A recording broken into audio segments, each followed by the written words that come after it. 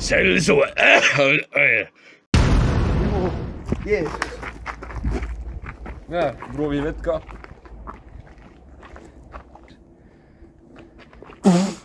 see ei ole ju vesi.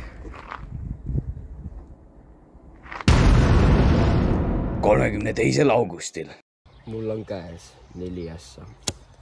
kas ma räägin tõtt? sa räägid tõtt, mu vend Juudas. Ka ei sõja, sõja. aga sa ikka tead, et me saadame sind krusifitseerimisele nüüd onju? Uuseks tušaša siia. aitäh.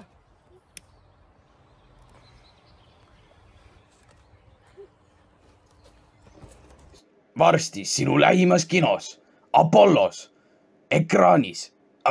mis asja, ekraani pole enam? ainu-, ainult Apollos. krusifitseerimisele. Hakkame minema praegu. oota, kohe, kohe. Jaris Soome, Kuno Viitkar, Markus Höövel, Oskar Reinok ja Steven Liiv.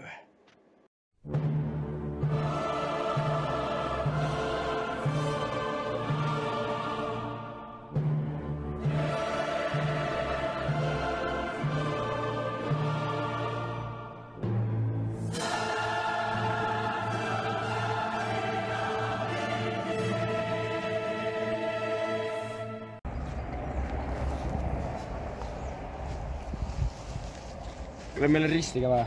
on siin taga. aa, aa,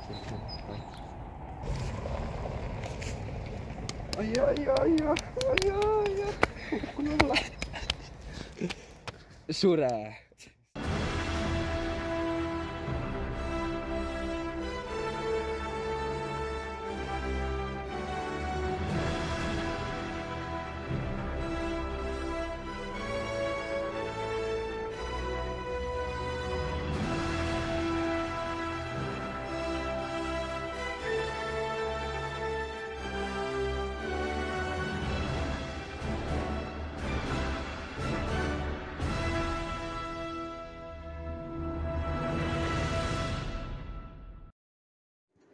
oota, aga mis selle, mis selle ekraaniga siis juhtus?